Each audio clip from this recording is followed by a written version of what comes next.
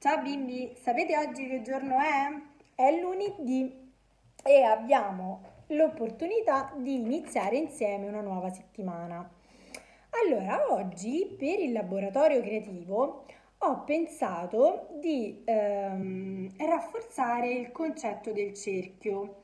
Vi ricordate l'immagine, eh, la forma geometrica che avevamo fatto insieme?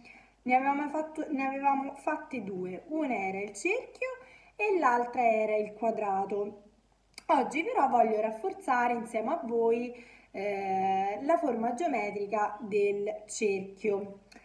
Io ora vi faccio vedere, ma sono sicura che voi lo ricordate. È questa la forma geometrica del cerchio.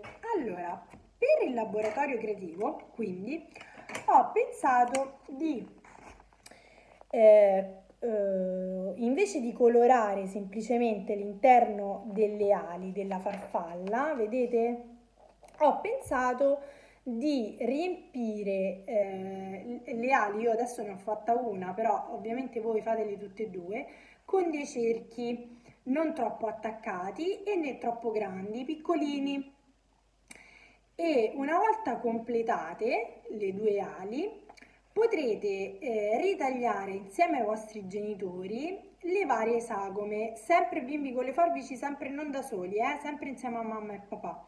E andremo a eh, assemblare poi le varie, le varie parti, quindi il capo della, eh, della farfalla sopra al corpo, quindi all'addome e al torace sopra al capo le due antenne che per le farfalle sono molto importanti bimbi perché eh, le loro antenne hanno un senso dell'olfatto quindi sentono gli odori eh, in una maniera mh, molto sviluppata. E poi una volta che avete assemblato eh, la, la testa, il capo sopra al, al corpo eh, le antenne sopra il capo andrete ad ehm, assemblare, attaccare le due ali sul, sul diciamo i lati eh, del corpo della farfalla.